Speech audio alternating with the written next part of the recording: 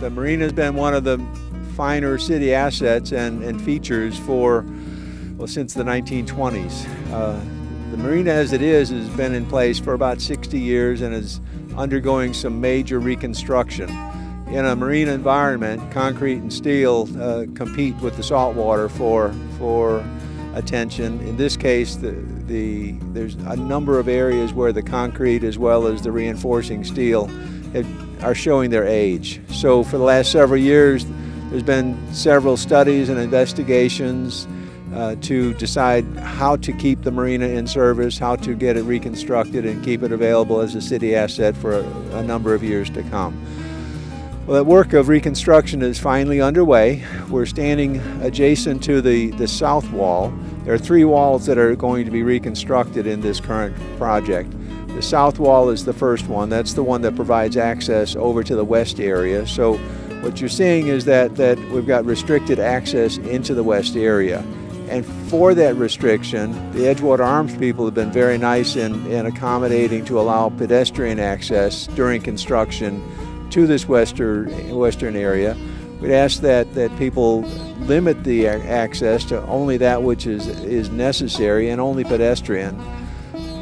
In, with respect to the work itself, uh, there are two seawalls over on this south side. One is the wall within the marina, one is an older wall that was constructed in connection with, with the original marina work. It's actually on Edgewater Arms property with good cooperation again, we're tying one wall to uh, the other wall to make both walls more structurally sufficient and much more competent for the support of the road that leads out to the west. The major construction, we've exposed everything. We've got 19 major steel rods, inch and a quarter steel rods that will extend from one wall through the other uh, and then tie that back. So some also some concrete reconstruction and reconstruction of the, the, the cap that forms the top of the seawall. This work is expected to go on till mid-September. From the completion of this work, then we'll move over to the north wall over where the commercial docks are.